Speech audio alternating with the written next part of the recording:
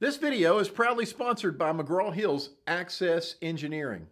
You ever find yourself struggling class and you need just a little bit more help? You need to see worked out solutions. You need to see video solutions in classes such as statics, solids, thermo, dynamics, material science. Then Access Engineering may be for you. So go check out Access Engineering, link in the description below, and get the help that you need today. Now, on with the video.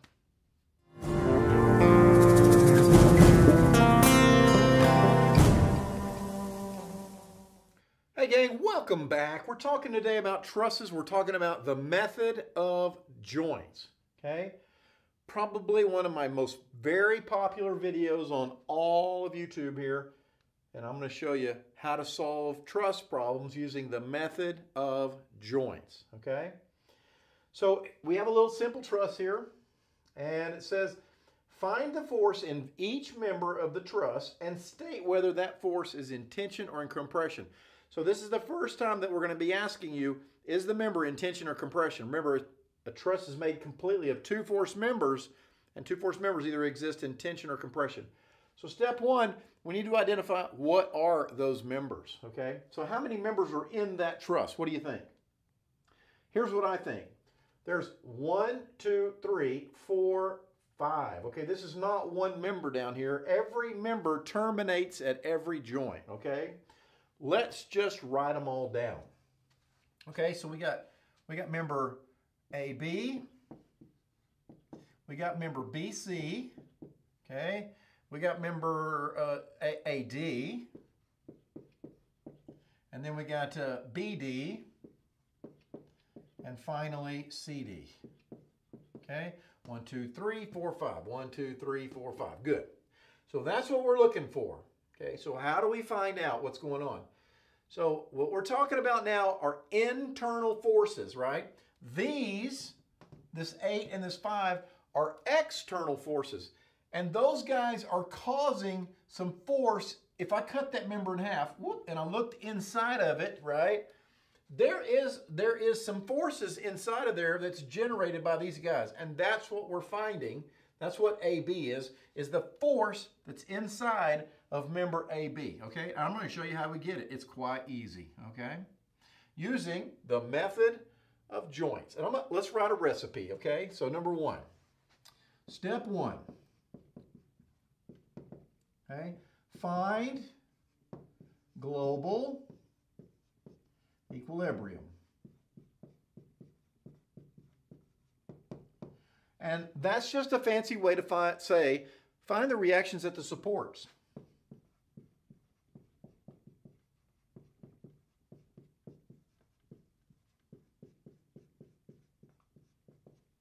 Okay?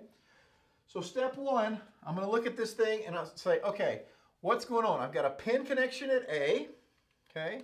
So at A, I'm going to have a, um, a, two forces, one like this and like this. So an AY and an AX. Okay? And let's see, AX, which way does it go? Well, the 5 goes that way, so the X better go that way. Okay? Um, AY, which way does it go? Now remember, if you don't understand which way it goes, it's okay to guess. I'm, I, I don't know. I'm going to guess that it goes down. I might be wrong, but when I saw for AY, if I get a negative, hey, I was backwards, okay? And then over here at C, there's a CY, right? So I've got a first step, step one, I've got to find AX, AY, and CY. And we do that by looking at, you guessed it, the moment at A, okay? So sum of the moments at point A, this being positive, okay, equals zero. What do I have? I'll put my finger at A.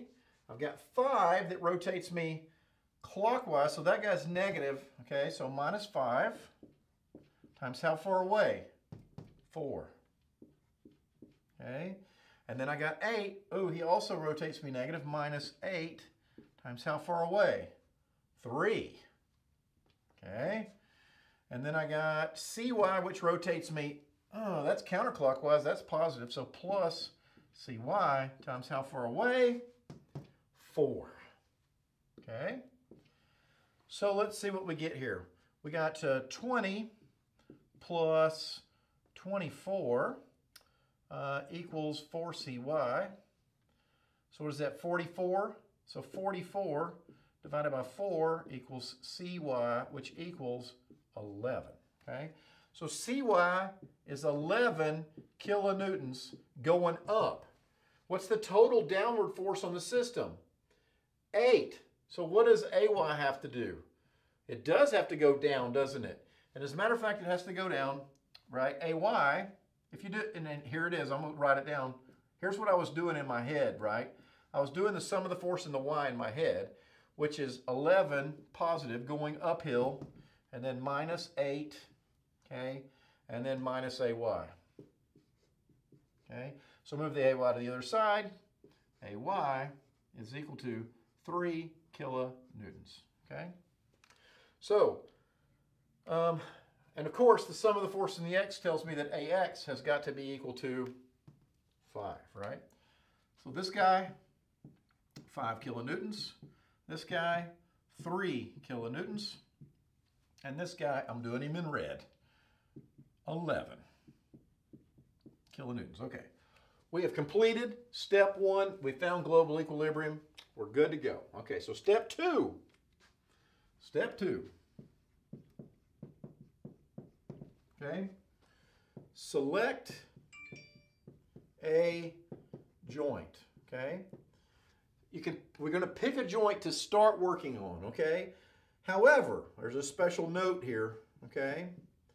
Do not pick a joint with more than two unknowns. Okay? Why two unknowns? Because these, we're going to analyze a particle, right? These are little chapter three problems. Remember the chapter three problems, okay? So let's say we start off at joint A, okay? The next step is step three, three, draw FBD of the joint, and then I guess step um, four is solve, whoops, and then if there's a step five, it would be repeat, okay? So let's start at joint A. If I start at joint A, if I take my free body diagram cookie cutter and I select joint A, okay, I'm only going to cut through two members that I don't know. That's only two unknowns. So joint A would look like this. There he is. It's got something like this, something like that, one like this, and one like that, right? This guy is 5 kilonewtons. This guy going downhill, three kilonewtons, okay? Now, this guy up here is, is member AD, okay? And this guy over here is member AB. Well, this one's pretty easy, isn't it? Because for that joint to be in equilibrium, he's not moving, right? So the sum of the forces has to be zero. Then the up stuff has to equal the down stuff. The left stuff has to equal the right stuff, okay? So if that guy is going that way, this one has to go this way. And if that guy's going down, then this one has to go up, okay? And this is pretty easy, right? It tells me that AB has to also be equal to 5 kilonewtons, and AD has to be 3 kilonewtons, okay? So right away I know something. I know, I know AB is 5 kilonewtons, and I know that uh, AD is 3 kilonewtons. Now here's the one thing that's different in this chapter you have to tell me, is this member AD, okay, is that member and, and member AB, are they in tension or compression? So let's talk about that for a second. If I, if you are the member, right, and I come up and I squeeze you, uh, and you're in compression, what are you going to do to me? Uh, I'm going to push back on you, right? This is a free body diagram of the joint.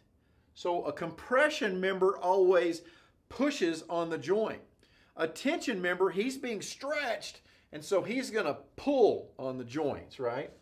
So is this force pulling on the joint or pushing on it? it's pulling. So forces going away from a joint are always tension, okay? Away, always tension. Okay? It's not a free body, that's not a free body diagram. It looks like, oh, the member's getting squeezed. Nope, wait. That is not a free body diagram of a member. That's a free body diagram of the joint, right? The joint's in the member's in tension and he's pulling on the joint. Okay? So I'm going to put this. I'm going to put a T there and a T there. Okay? And that's all you have to do in this chapter is identify is it in tension or in compression? Is it a T or a C? That's it. Okay? Okay, now we've done joint A. So what should we do? Let's look at joint B over here. Okay, now there is one thing that we're going to have to do real quick, and we kind of need we kind of need this angle right here. Um, oh, that's easy, isn't it? That's a three, four, five triangle. So that means that this angle right here is 36.87 degrees. Where did you get that? Well, you can use tangent if you want, but it's so common in statics that I just, I just remember it, okay? So here is joint B. I'm going to draw joint B over here now. And joint B, what does joint B look like? Well, here's what he looks like. He has a force there, a force there, uh, a force there that's 8 kilonewtons. Okay. And then it's got this one right here. Okay. Do we know any of the directions? Let's just label these. This is AB, and this is uh, BC, and this one up here is BD. BD, okay? Look at AB, okay? You know what? There's AB up there, okay? So on this one, AB was pulling. So what's he going to be doing to this joint over here? Now, if you said going that way, that's not right. Because if one end is going that way and the other end is going that way, what's the beam doing? It's moving, right? If one end goes that way, the other side has to go that way, right? It's a two-force member. So the two ends act in opposite directions. So if the guy is pulling on the joint over here, he's pulling on the joint over there. So this goes like this, wah, wah, right? And we know how big AB is. It's 5 kilonewtons. Okay. Oh, we know this angle right here, 36.87. Is that right? No. No, that angle's not 36.87. Wrong. I should have done I should have done that after all, isn't it? It's 53.13. Okay, that one up there is 36.87. Oh, I'm glad y'all told me about that. I almost messed that up. 53.13 degrees. Okay, that's better. So, BD and BC, do I know which way they go?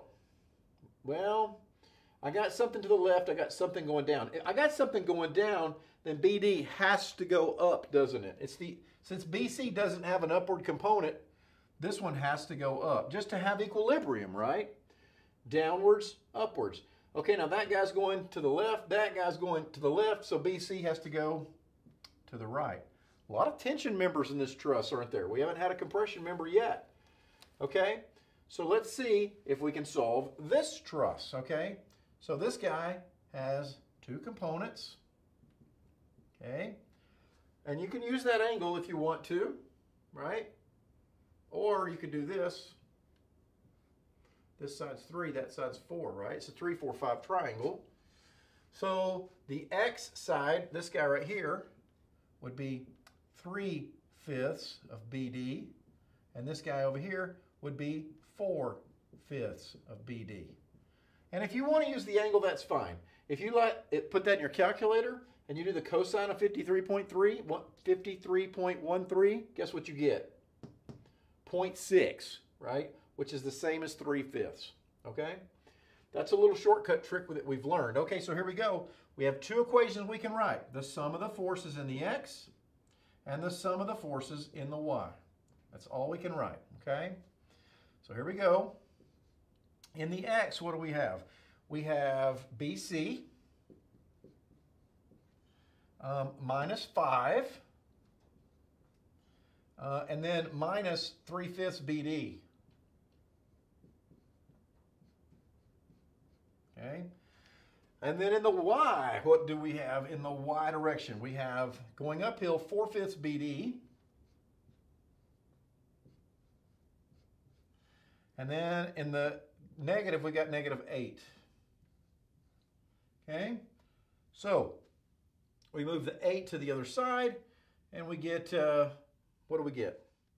We get 8 divided by 0.8, which is 10. So BD equals 10.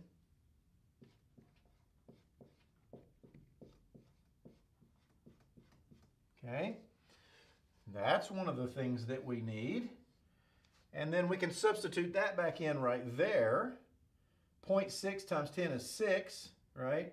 So negative 5 minus 6, and this minus 11, move that to the other side. So BC equals 11 kilonewtons.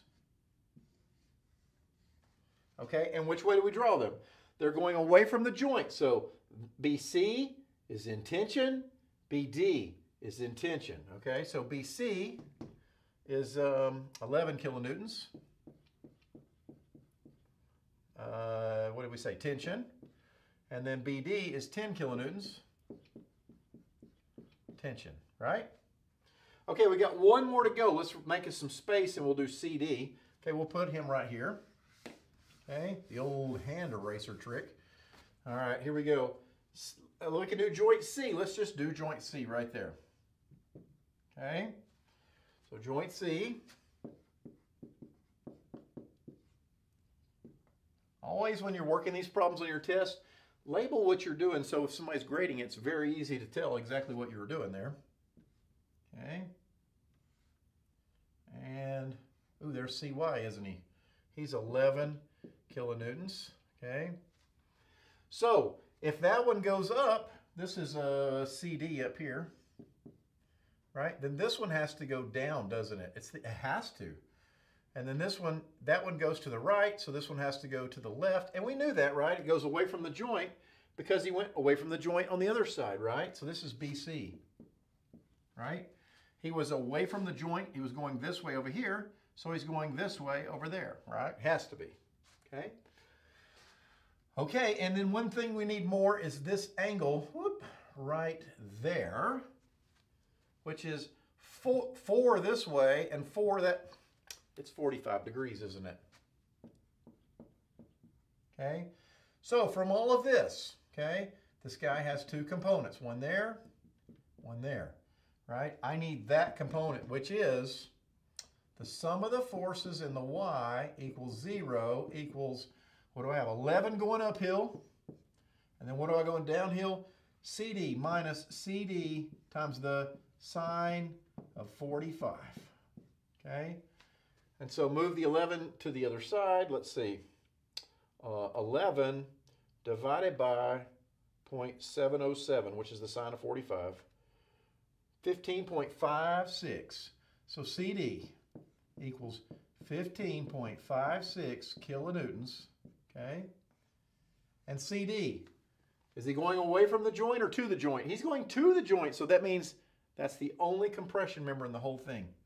15.56 kilonewtons compression, okay? That's all there is to it, gang, all right? You just start at one joint and you just start working your way around the truss. This is not the fastest method in the world, okay? It's not fast at all. And what we found at A, we carried to B. What we found at B, we carried to C. So if you mess something up along the way, you just carry your error and it just gets worse and worse and worse, okay? So there's a lot of places to get messed up. But what did we do here? Right here, when we started off, when we did global equilibrium, right there, okay? That's a chapter 5 problem, okay? Well, sum of the forces X, sum of the forces Y. This thing right here is a little old chapter 3 problem, right? This up here, a little old chapter 3 problem. The one that I erased, a chapter 3 problem. So we had to do, for one chapter 6 problem, we had to do a chapter 5 problem and three chapter 3 problems, okay? So there you go. That is the method of joints. I hope this helps. Thanks.